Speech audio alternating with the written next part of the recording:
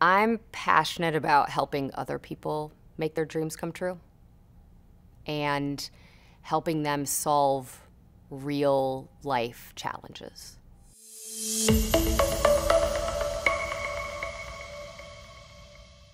A few years ago, I started my first tech company. So I've been an entrepreneur since I left college. Um, I'm not a sit still kind of person, um, and so entrepreneurship was my path. Uh, but back in 2014, I had the idea for a small tech company. I raised some venture capital, I ran out of venture capital. And it was through that process um, and just doing a lot of reading that I understood that sometimes the hurdles that are faced are because of who I am and what I look like. I come from a really humble upbringing. Um, and not only were there a lot of children, um, but my parents just didn't have a whole lot. And so you have to figure out how to do it. And while um, being black is not a monolith, my spouse comes from a, a, long line of doctors and, and all sorts of things, I didn't. And those challenges um, made me who I am. I was one of the first 88 black women in the country to raise any venture. And at that point, I mean, I had raised just over $400,000. And I thought, well, I've never hit a brick wall before in my life. I've been very successful to that point, and why would this happen because of being a black woman? And so I thought, how do I fix this for my region? And so I got together with um, my two co founders and we decided to launch an accelerator. So that first pilot year back in 17, um, we brought through three companies, and within 60 days of them graduating, they raised 2.2 million dollars in funding, and we we had product market fit for sure. Folks like to invest their time and energy and capital into people they know, like, and trust.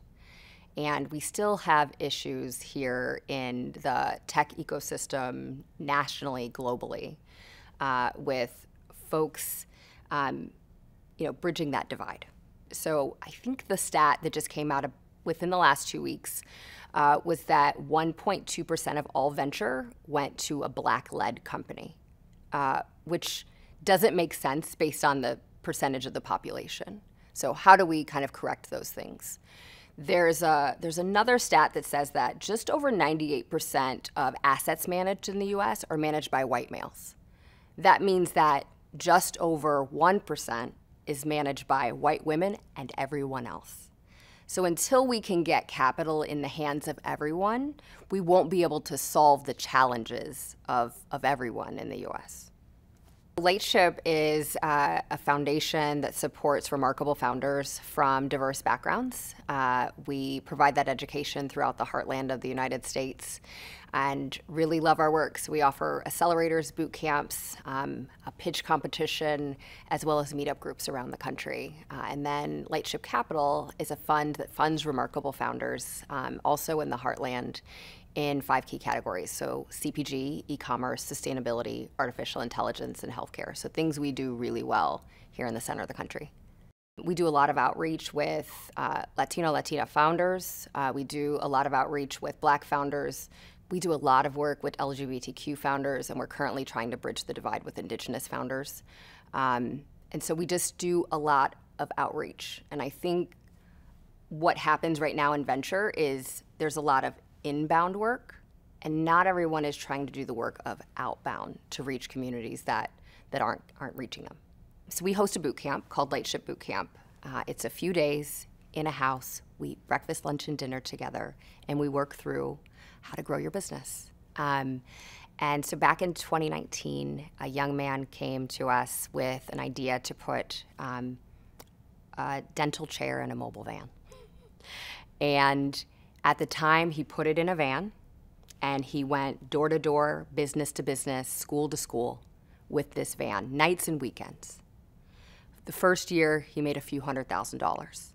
And so he comes to us for a boot camp and says, I think I've got a business here. And so we spent a few days with him, made some small tweaks. He built a second van in that second year.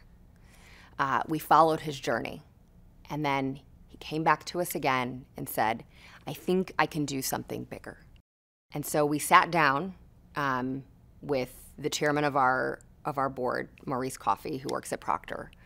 And um, said, hey, we think that we've got a crazy idea. Let's work on finding corporations and um, public entities to get together to provide oral care to all. And so we've done that now in multiple cities around the country. We started a pilot uh, with P&G, Crest, and Oral-B last year. We started the process, and over the last few months, April, May, June of 2022, we went into three cities and tested this project. Um, and it's called Closing America's Smile Gap with Crest and Oral-B. And that three city pilot um, is now moving on to uh, a 15 city activation. Uh, another company is called Healthy Roots Dolls. It's a little doll with uh, curly hair, multicultural textured hair that allows little black girls to better love and understand their curls. And so, two years ago, they did a very large marketing campaign with Pantene Gold uh, and My Black is Beautiful. And so we've had multiple companies that we've worked with, but those are kind of highlights that um, kind of fit here at P&G. So a few years ago, when I was learning to invest, um, because it's a process of picking good companies that could potentially grow and be, you know, billion-dollar businesses, uh, I went out to a biotech conference in San Francisco, um, and they give you this book and you sift through the book and you can figure out like you know which ones do you think are going to be winners and, and losers. So um, i sifted through the book and i looked for the demographics of people that we invest in. So i looked for you know women's names um, throughout. And i went into a room with a young lady who started a company um, it's a progesterone ovulation test. And it's a room full of men and me. Like, i'm the only woman in the room. And i was the only black woman at the conference. And she gets up and she tells the story of how she had had multiple miscarriages, and friends around her had too. And she has a doctorate of pharmacology, Dr. Amy Beckley. And she told the story how she'd cobbled together some off the shelf um, components to build uh, the world's first viable urine diagnostic test to test your progesterone levels. We ended up becoming her first investor. Um, it was my first kind of um, femtech investment. And since then, um, they are in multiple re retailers. They um, are also sold direct to consumer. They just finished a Series A with Quest Diagnostics, um, which isn't a small feat. And they're going, growing quite rapidly, not only in that space for fertility, but also moving into menopause. For me, I think the advice is always, you know, follow your true north. Uh, make certain that you know what you're building, why, why you're building it, and while lots of opinions may may come around you, make certain that you're following the reason that you got into it. I always let people know that from 10 p.m. to 2 a.m. you can be working on that thing before you quit your job. it's always important to know that you have a customer there out in the out in the world and so spend those hours that you could be you know you, you might be on a streaming platform or on social media spend that time instead on trying to build something in a very small and incremental way. And I would also say, like, just don't give up. This is the hardest work in the world, starting something and getting people to, to buy in on it. Um, but it's all about not quitting. There are so many times I could have, uh, and it's just it's just about not giving up. So you know, following your true north, spending some time before you actually quit that thing, um, and then finally just just not giving up. Música